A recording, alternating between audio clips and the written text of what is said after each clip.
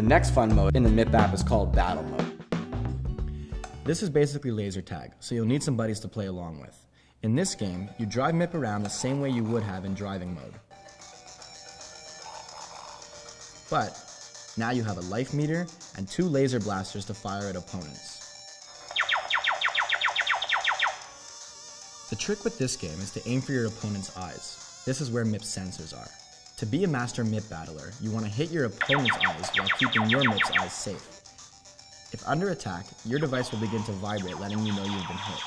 The first user to see his health bar diminish will lose the battle.